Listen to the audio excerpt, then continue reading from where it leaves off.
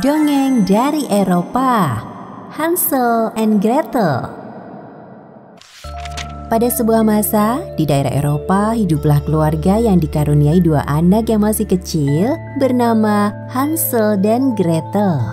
Mereka hidup dengan bahagia, saling menyayangi satu sama lain. Namun pada suatu hari, ibu mereka meninggal dunia setelah sakit cukup lama. Hansel dan Gretel sangat kehilangan. Kak, ibu telah meninggal dunia. Aku tak punya ibu lagi. Siapa yang akan menjagaku? Ikhlaskan Gretel, ibu akan tenang di sana. Sang ayah yang tidak mau melihat anak-anaknya terus bersedih, akhirnya ia memutuskan untuk menikahi perempuan kembali. Sekarang, Hansel dan Gretel telah mempunyai ibu tiri. Hmm, sayangnya, ibu tiri itu mempunyai sifat yang tidak baik. Sejak kehadiran ibu tirinya, kehidupan ayah, Hansel dan Gretel berubah menjadi sangat buruk. Ayah, kita hidup berkecukupan. Musim panas telah tiba. Bagaimana jika kita bawa Hansel dan Gretel ke hutan? Hmm?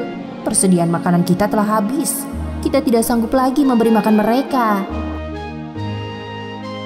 Baiklah, ayah kira mereka sudah bisa menjaga dirinya sekalipun di dalam hutan. Hansel dan Gretel tidak sengaja mendengar percakapan ayah dan ibu tirinya.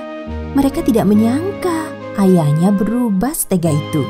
Mereka ketakutan dan Gretel terus menangis. Namun sebagai kakak, Hansel harus menenangkan adiknya. Bagaimana jika kita dimakan harimau di dalam hutan dan tersesat tak tahu jalan pulang? Oh, aku tidak mau mati di perut harimau, Kak. Oh. Tenang adikku, semua akan baik-baik saja. Berdoalah terus kepada Tuhan agar memberi kita perlindungan dan aku akan terus melindungimu. Keesokan harinya, ibu tiri mengajak kedua anaknya untuk mencari kayu bakar di hutan. Hansel dan Gretel tidak bisa menolak ajakan tersebut karena ayahnya pun memaksanya. Hansel telah merencanakan sesuatu tanpa sepengetahuan ibu tirinya. Hansel membawa batu putih kecil di dalam kantong celananya. Hansel menaburkan batu putih sepanjang jalan. Bagaimana ini kakak? Kita harus mengikutinya sampai hutan. Tenang adikku, aku membawa batu-batu putih di kantong celanaku. Saat sampai di hutan, mereka mencari kayu bakar. Ibu tiri mengendap-endap meninggalkan Hansel dan Gretel. Hingga malam tiba, kedua anak kecil itu masih berada di tengah hutan. Gretel terus memeluk kakaknya karena ketakutan. bagaimana ini kak? Ibu benar-benar meninggalkan kita di sini. Di sini sangat gelap dan dingin. Aku takut. Tenang adikku, pegang terus tanganku dan berjalan di belakangku. Percayalah, kita akan sampai dengan selamat. Tanpa ragu, Hansel menyusuri jalan yang terlihat bercahaya. Cahaya itu muncul dari batu putih yang ia tabur sewaktu berangkat. Hingga jejak itu mengantar mereka sampai di rumah dengan selamat. Kita sampai, Kak. Kau yakin kan aku akan melindungimu? Kakak sangat baik dan cerdas. Ayo masuk ke rumah. Ternyata keesokan harinya, ayah dipengaruhi ibu tiri lagi untuk membawa Hansel dan Gretel ke dalam hutan. Sang ibu memberikan dua potong roti. Di sana, Gretel menangis ketakutan. Hansel selalu memeluknya dan memberi ketenangan. Aku telah menaburkan potongan roti. Ayo kita cari jalan pulang. Ah, ada suara harimau, Kak. Tetap tenang dan ikuti aku ya adikku yang pintar. Gretel memegang tangan Hansel dengan sangat erat. Hansel mencari di mana jejak roti yang telah ditaburkannya. Roti itu hilang, sepertinya dimakan burung. Mereka berjalan tak tahu arah hingga kelelahan dan tidur di bawah pohon yang rindang. Ini sudah terlalu larut malam. Malam ini kita beristirahat di bawah pohon ini dulu tidak apa-apa ya. Besok kita lanjutkan perjalanan. Iya kakak, asal selalu denganmu. Keesokan paginya, Hansel dan Gretel bangun dan kembali mencari jalan keluar hutan yang tak berarah. Mereka menjumpai rumah unik dengan dinding biskuit dan atap kue tar. Dan pintunya terbuat dari coklat. Karena sangat lapar, mereka memutuskan untuk pergi ke sana. Kakak, bagaimana kalau kita singgah di rumah itu dulu? Aku sangat lapar dan roti itu terlihat lezat. Baiklah, kita akan ke sana.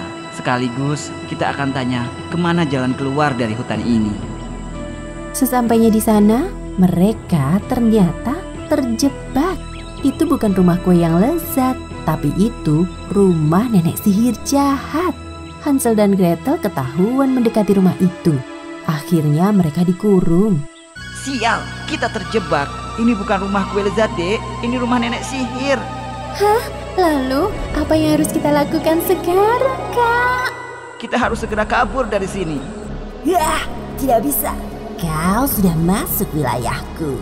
Maka aku akan menangkapmu untuk kujadikan santapan yang lezat. Tolong, lepaskan kami. Nenek sihir itu sangat tua.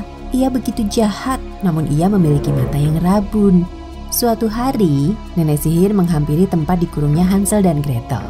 Gretel sangat ketakutan, namun kakaknya terus menenangkannya. Ulurkan tanganmu. Aku sangat lapar. Biar ku tahu seberapa gemuk tubuhmu. Karena mata nenek sihir yang rabun, Hansel mempunyai ide. Ia memberikan tulang sisa makanannya. Sang nenek sihir kecewa dan sangat marah. Ia mengira Hansel sangat kurus. Hah, kau sangat kurus. Oh, aku tidak akan kenyang jika memakanmu. Oh, bakarkan aku roti di tungku itu. Cepat. B- b- Baik, nenek sihir. Kak, bagaimana jika Aku punya ide.